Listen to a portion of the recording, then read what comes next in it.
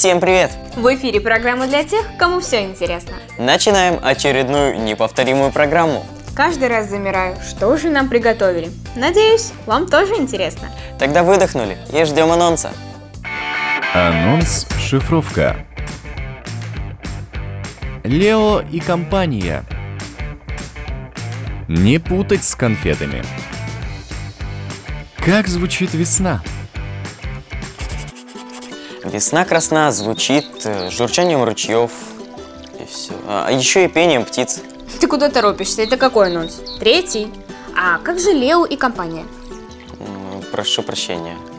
Но просто весной хочется говорить о весне, о подснежниках, редиске и черемше. Очень понимаю, но порядок превыше всего. Первый анонс – Лео и компания. Э, Кот и мыши. Какие? Как, какие? Ты что в детстве делала? Книги читала? Ну, все же должны знать мультик о коте, которого донимали две нахальные мыши. Упитанная и не очень. А, Леопольд, что ли? Точно. Прости нас. Ой, Леопольд. Прости, а? Ребята, давайте жить дружно. А может это Лев? Лев Лещенко. Или Лев, который царь зверей. А звери и есть компания. Э, Вернемся лучше к мультикам. Есть такой эм, Тик и Лео про тигра и леопарда. Смотрела? Нет. Мне кажется, речь идет все-таки о семействе кошачьих. Дикие кошки, например. Они рычат и кусаются.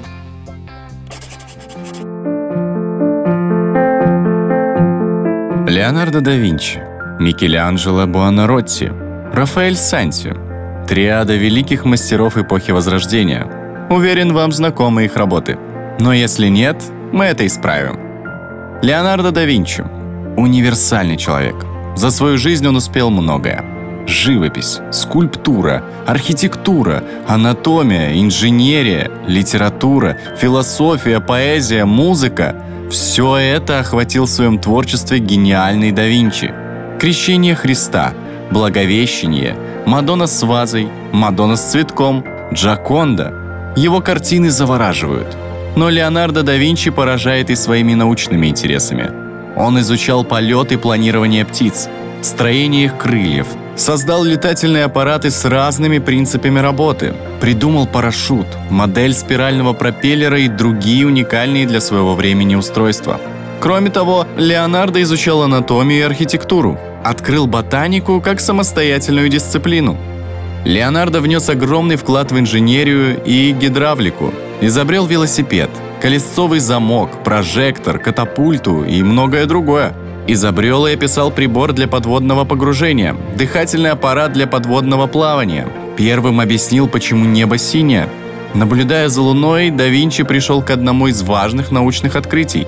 Он установил, что солнечный свет отражается от Земли и возвращается к Луне в виде вторичной подсветки. Интересы его были безграничны. И потому он вошел в историю как человек, который успел за жизнь сделать столько, сколько не под силу десятку людей. Микеланджело Буонаротти – итальянский скульптор, художник, архитектор, поэт и мыслитель эпохи Возрождения. Гордый, амбициозный, беспокойный, вспыльчивый, но все свои эмоции он вкладывал в творчество – в прекрасные фрески и невероятной красоты скульптуры, выполненные из камня. Работу над ними он всегда начинал с зарисовок общей композиции и отдельных деталей. После мастер лепил из воска или глины небольшие эскизы – бацетти. Его главный шедевр, более чем пятиметровая статуя Давида, был высечен из огромного куска мрамора по восковой модели не больше 30 сантиметров. На это ушло 4 года. Сегодня эта скульптура хранится в Академии изящных искусств во Флоренции. А над сводом Сикстинской капеллы он работал 4 года, причем без предварительных эскизов, храня всю картину в целом и ее отдельные части в голове. За время работы он не впускал в помещение никого, даже папу римского. Все выполнял сам без помощников. На такое способен только гений. Рафаэль Санти – итальянский живописец, рисовальщик и архитектор эпохи Возрождения и неоклассицизма. Рисовал фрески, картины, создавал гравюры и даже писал стихи. Его работы восхищают простотой композиции и воплощением идеала человеческого величия и красоты. Сикстинская Мадонна – одно из самых узнаваемых в истории искусств произведения. Многие строения в Риме созданы по его проектам. Многому он научился и у Леонардо да Винчи, беря за основу его методы рисования – анатомию, динамику персонажей, которая не дает зрителю так быстро отвести взгляд, заставляя рассматривать произведение часами.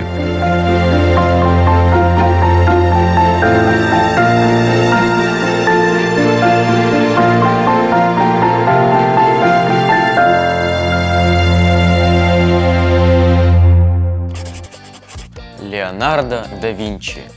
Назвать его Лео у меня язык не повернется. Вот поэтому я о нем не думал.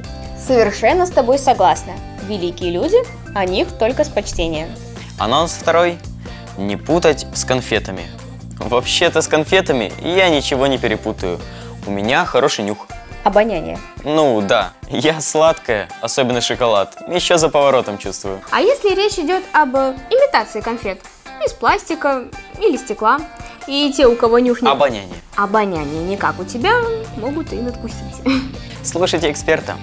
Конфеты нужно брать только в проверенных местах, где нет подделок. Всегда читайте состав и не берите их из рук у малознакомых или незнакомых людей. И тогда все с вами будет в порядке. Ну, если, конечно, их есть в меру. А анонс мы так и не разгадали. Черный бриллиант, белый алмаз, подземный король. Нет-нет, мы не перечисляем драгоценные камни. Это все о грибах. Этот король – трюфель.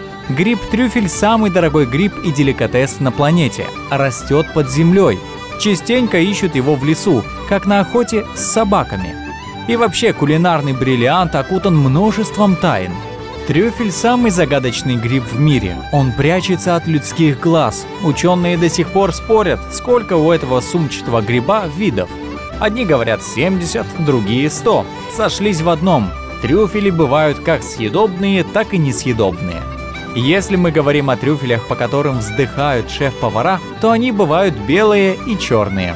Размер зависит от возраста и может быть и как орешек, и как крупная картофелина, или даже свекла.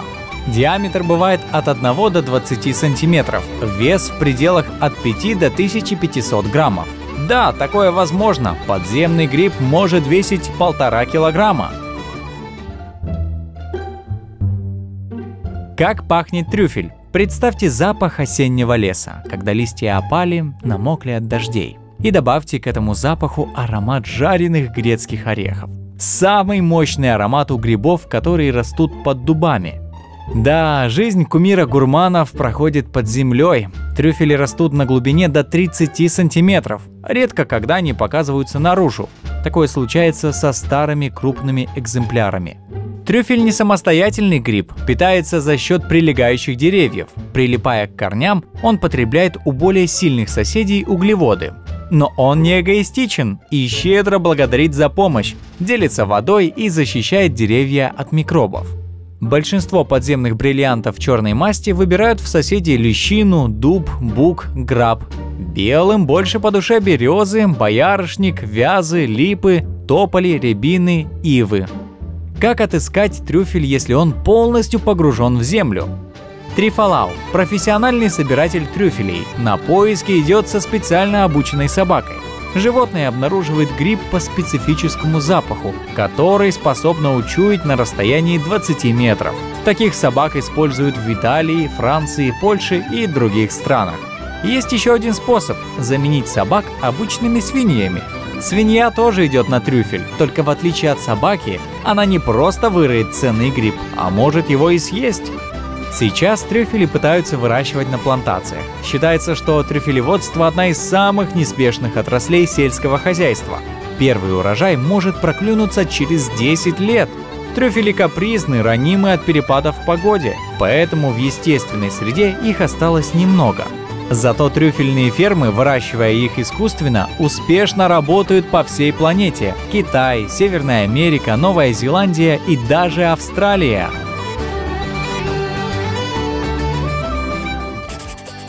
А я бы не променял шоколадный трюфель на трюфель. Я тоже. Но мы не отрицаем другие точки зрения. Они тоже имеют свое право на существование. Наконец-то мы добрались до финала. Почти до финала. Третий анонс. Как звучит весна. Придется опять повторять эти версии. Это ручейки, это пение птиц, а еще грачи прилетели. Заметили? Да. А еще это шум соседской стройки. Ведь все же начинают весной что-то ремонтировать. Вот у нас в Тирасполе, в районе Балка, дорогу чинят, экскаваторы шумят. А еще на улице много гуляющих. И гуляют они не молча, шуму много. Так звучит весна, и лето, и осень. Ну ладно, давай смотреть.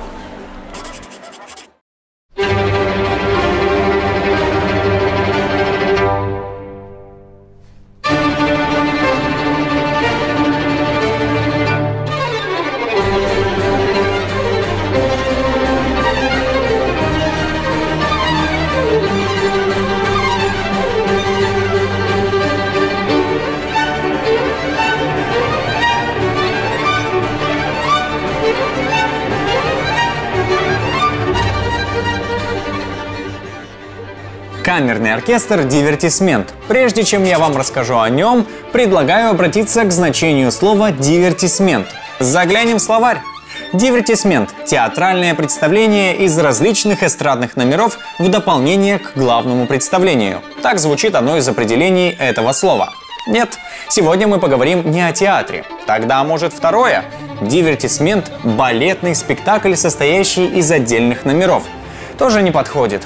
Попробуем третье. Музыкальные сочинения, составленные из нескольких небольших, легко обработанных пьес для одного или нескольких инструментов. Ближе. А вот руководитель оркестра Илья Иов считает, что главное в понятии – это чтобы оно было не скучным. И потому камерному оркестру «Дивертисмент» не чужды юмор, ирония и эксперимент. Классические концерты, совместные проекты с известными артистами, авторские абонементы и даже современные опыты с электроникой и перформансом. Все это можно увидеть на их концертах. Москва и Петербург. Эти два города, а точнее их музыкальные традиции, слились воедино и зазвучали. Послушаем!